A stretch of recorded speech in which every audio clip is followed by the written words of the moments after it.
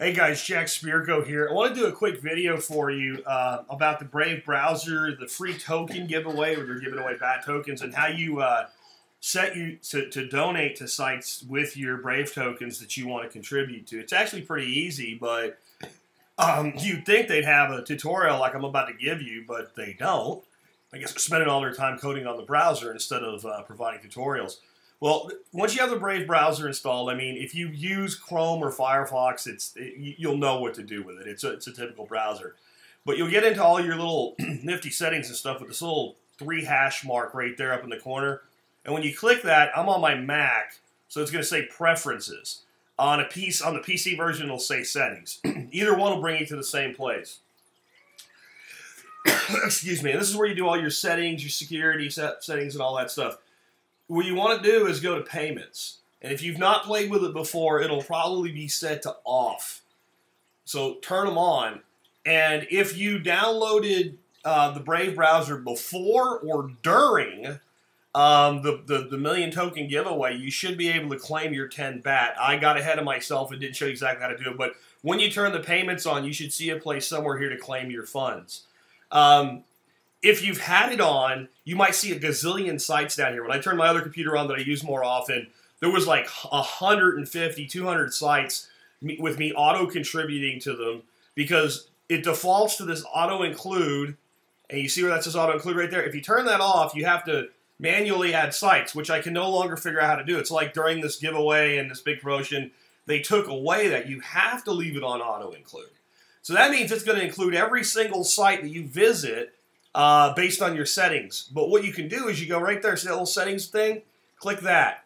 And then you can say, well, how long do, do I need to be on a site before you consider it a visit? And you set it to one minute, and how many visits before you consider the site relevant? So I'm going to say 10 visits. So if I don't visit a site at least 10 times, uh, don't add them. And if I'm not on the page at least one minute, don't count it as a visit. You can set this wherever you want notifications. I think that'll tell you, again, I'm new to this too, when they've added one. This right here defaults allow contrib contributions to non-verified sites. What that means is you'll be donating BAT tokens, if you do this, to sites that have not yet set up as a Brave publisher. So that money will be basically sit there in escrow waiting for them to claim it someday. Um, you can do that or you can choose not to do that. That's up to you. I'll tell you what Brave's doing here. They're setting it to you know the minimum settings so that everything gets added. This is actually kind of brilliant on their part. So that there'll be thousands of very high-end sites out there with a whole bunch of BAT tokens sitting in escrow that all they got to do is claim them. Brilliant. Uh, and then allow contributions to videos. If you click that, it will allow contributions to video creators. Now, one of the things I have to figure out is I've gotten certified as a publisher for my website right here, thesurvivalpodcast.com. I have many websites. I got to figure out how I can add more, and I have a YouTube channel. And it asks you when you sign up as a publisher, are you a creator uh, on YouTube only, or do you have your own site? Uh, I'd like that all under one umbrella. I've reached out to Brave. I hope to have them on the show for an interview soon, and maybe we'll get some answers to that. But, you know, it's up to you whether you want to allow contributions to videos. Personally, I've decided I am not going to contribute at this time anyway to non-verified sites.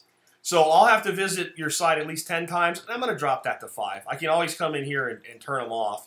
And I'm going to say, yeah, I'll put you on there if I'm on for uh, one minute. I'm going to stick with one minute. And you can back up and recover your wallet here. Now, one very important thing, I'm about to tell you how to put money into your Brave wallet for this purpose, which is contributing to websites that you want to support. If you put money into this wallet, you can't get it back out. Right now, this wallet is unidirectional. That means only put small amounts in, and then you can set your budget and what have you. Now, since this isn't the computer I mainly use, my account balance was zero when I turned it on this morning until I claimed my free 10 BAT tokens.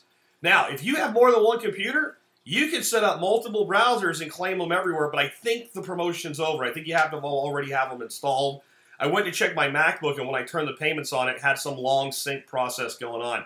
They'll let you have two personas, so you don't have to even cheat. You can have two computers that you're syncing your data back and forth with, and you can still get 10 BAT tokens per um, per computer. So you get 20. Uh, what does BAT mean? BAT is Basic Attention Token, and their long-term plan is this. Users will contribute to sites, but Advertisers' budget, some of will go to users who agree to see ads. We'll get into that in a later video. Here's where you can set your monthly budget. You can set it to whatever you want. Uh, and you can also control that by how much you put in. So if you don't want to set it as high as 25 bat for a month, uh, you can uh, just not put that much in. And that's how you can go below what they're allowing. Again, they seem to be kind of sneaky right now with what they're doing, trying to get a lot going on. If you want to add funds, you click here to add funds. You decide whether you want to do Bitcoin, Ether, BAT, or Litecoin. Guys, I'm, I'm real serious about this. I think if we're going to use a platform, we should use the native token as much as we can. So if you have BAT, use BAT here. Uh, BAT is very inexpensive, and it, it, it, you know, I think they're going to convert these to BAT when they're given out to publishers. But why not, if you want to support what Brave's doing, use the BAT token? So you click here, it'll give you an address you can either copy and paste, or if you're using like the Jaxx wallet or something like that that has BAT token support uh, with your, your mobile device, you can just scan that QR code and deposit it into your account. That's all you got to do, and that will have then money in here. And as you visit sites, once you visit them enough times that they qualify for whatever threshold you set, you, you set, you'll see them sitting down here. Now, what if a site shows up here and you just don't, like you were on that site to do research or something, you do not want to contribute, you'll see a little button, you can toggle them on or toggle them off.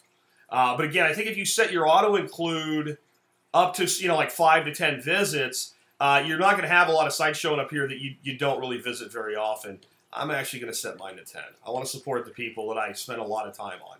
So there you go.